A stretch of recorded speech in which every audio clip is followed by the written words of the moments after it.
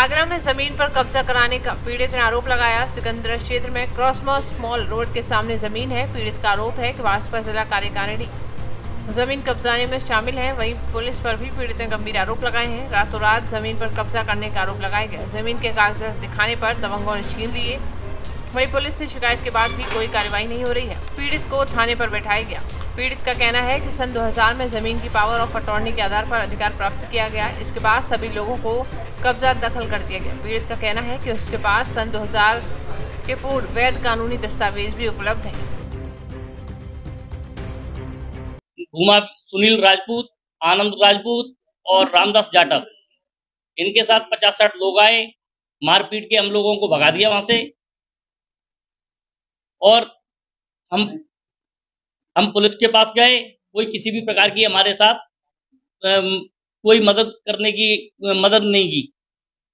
हमारे कागजात छीन लिए, पंद्रह हज़ार रुपए छीन लिए, मोबाइल भी छीन लिया। एक सौ बारह पे कॉल लगाया। वो एक घंटे बाद आए। उन्होंने हमें बुला के मोबाइल तो दे दिया, लेकिन कागजात नहीं दिए। ना रुपए लौटाए। हम थाने में हमको बिठाए रखा। किसी भी प्रकार की कोई मदद नहीं की। जब तक उन्होंने बाउंड्री अब उन्होंने अपना कब्जा कर लिया। इसमें पुलिस की मिली भगत से पूरा काम हुआ है। और हो सकता है शायद ऊपर से भी कोई भाजपा के नेता ही मिले हों। डीसीपी साहब के यहाँ गए।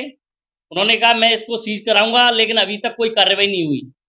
केवल आश्वासन देकर हमें वहाँ से कह दिया कि आप जाओ मैं इसको सीज कराऊँगा। इसमें कुछ किसी लोगों के खिलाफ मुकदमा भी किया गया है? हाँ रामदास आनंद और सुनील राजपूत। तीनों लोगों के खिलाफ एफ़ आई आर भी दर्ज कराई है। और पचास साठ अन्य लोग भी थे उनमें के साथ। कोर्ट में मामला विचाराधीन कोर्ट में मामला विचाराधीन है। कोर्ट की कॉपी हियरिंग कोर्ट में मामला विचाराधीन है। कोर्ट के विचाराधीन होते हुए भी उन्होंने कार्रवाई नहीं की किसी भी प्रकार की उन्होंने घेर लिया।